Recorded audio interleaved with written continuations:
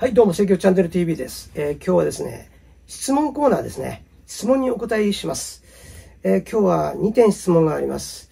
えー映画の話をしてくださいというダイレクトなお話と、ドラムの話をしてくださいという、え質問。えーこの2点、えにお答えします。いやー、映画の話ね、私映画っていうとね、もう本当に父親が映画監督っていう仕事をしてましたんで、なんかもう、映画はもう生活の一部でしたね。っていうぐらいもうあの、ちっちゃい頃から映画を見て育ったんですけど、まあ好きなのはね、もうサクセスストーリーのものですね。ハッピーエンドですね。もうこれが私にとっては映画が一番好きなんです。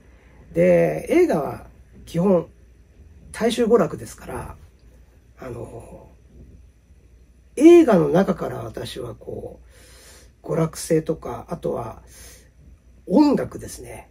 映画音楽でものすごく影響を受けたというのが正直ですね。映画そのものというよりは映画音楽に心揺さぶられた。まあやっぱりミュージシャンになるべくそこだったんだと感じるんですけど、えー音楽ですね。えー、007は特に音楽に影響を受けた部分もあるし、ジェームス・ボンド、ショーン・コネリーですよね。ショーン・コネリーの時代ですから。音楽が良かったですよね。ローマの休日。まあこれも、初めて演出というものの奥深さを知った作品ですし、えーたくさん映画を見ましたけどねこう演じられる人たちがですねみんなね歌はうまいダンスはうまい、えーそういうハリウッドの映画を見たりいいものいっぱいありましたよねでやっぱり映画は見終わった後にああ楽しかったな感動したなあー面白かったなっていうふうに思える映画が好きですね。はい。えー映画のお話。えーちょっとね、映画の話っていうと、先日僕はあの、あるカメラマンの方と、えーお会いして、いろいろちょっと長くお話ししたんですけど、あの映画って写真なんですよね。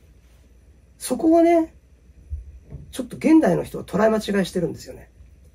ビデオというものができてきて、どこかね、活動写真っていうもののイメージがね、こう、損なわれてってるような感じがするんですよ。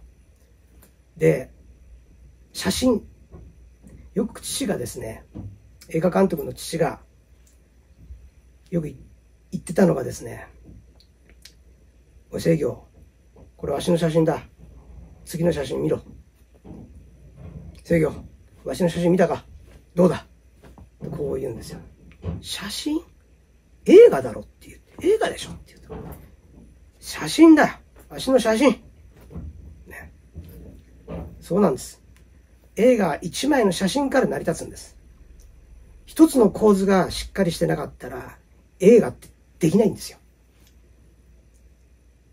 いや、もう、父の、そのセリフが、僕は頭から離れないんですよね。映画は写真。ですから、親父は本当にあの、カメラアングル一つ撮るんでもね、もうね、うるさかったですよ。よれよれとかね、引きすぎるなとかね。本当にそこはね、あの、うるさかったんです。一枚の写真。そんな話をカメラマンの人としたら、ものすごく感動してくださって、もう、まさしくですね、カメラは被写体、止まったものをそのまま絵に残す。映画も同じだってことなんですよね。ですから一枚一枚、ワンカットワンカットの中にある一コマ一コマに芸術性がなければいけないと言ったのが父なんです。でも、この芸術性がつながった時、大衆娯楽としての作品にならなければ、映画としての面白みはなくなるよというふうに言い残していったのが父松林周英でした。えーたくさん見た映画の中でも、近年はですね、本当に映像が、えー、すごく巧みにこう、バーチャルが広がってって、もう、本当にすごいっていうふうに感じるんですけど、映像がすごいけれども、一枚の絵としてはどうかって言ったら、ここはやっぱりちょっと印象がね、昔の映画に比べると、カット、ワンカットワンカットの中に濃い印象が残るものというのはあまりないのではないかなと最近感じます。それぐらい、えー、映画というのは一枚の画像に魂が込められるということ。えー、映画の話はそんなところです。私が今パッと思いつくのは、そういうふうにちょっとイメージして映画を見てください。ご質問ありがとうございます。はい、ドラムの話ですね。えー、ちょっと長くなりましたけど、ちょっとドラムの話はざっくり。えー、よくね、ドラムの話で質問を受けるのがですね、えー、どうしたらミスをしないように演奏できますかっていう、ね、結構質問が多いんですけど、これあのお答えしますと、ミスはするんですよね。え、プロの人ってミスをしてないわけじゃないんです。ミスはするんですけど、そのミスを聞かせないようにするテクニックがあるっていうことなんですよね。えー、演奏ってもう1回目と2回目は違うんですよ。で、ドラマだったら1打、2打でも違ってくるんですよね。で、全てがミスなんです、実は。人間が行うものにね、もう成功のものってないんですよ。正確にでも聞こわせてる、聞かせてる、そういうテクニックがあるっていうことですよね。だから精度を上げるってことなんですよ。自分が100%の力を出して、40%ぐらいの力しか出せないんだったら、100%の力で叩こうとしちゃうから大体からミスするわけですよね。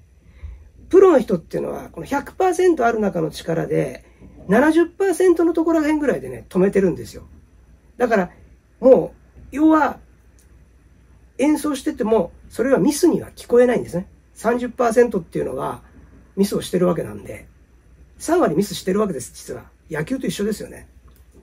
で、演奏ができない素人の方っていうのは、本当に40%ぐらいでもミスが起こる。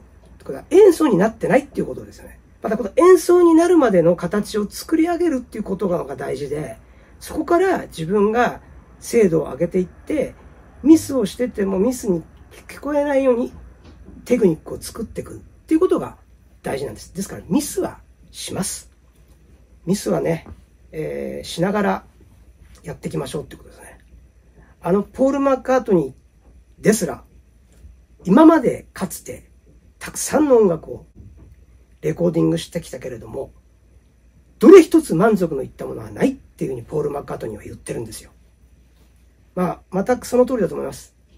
えー、私もスタジオミュージシャンになって演奏するときにいいテイクを上げようと思うと保存しようとしちゃうんですよね。ミスをしないようにしようとしちゃうんですよね。でもね、保存しようとするといいテイクが取れないんですよ。どこかで眺めながらですね、自分がコンディションの中で調整しながら、ある程度、えー、ミスっていうふうに聞かせないテクニックをどのように使うか。え、そこがですね、プロの現場での、えー、処理というか、成功への秘訣ですね。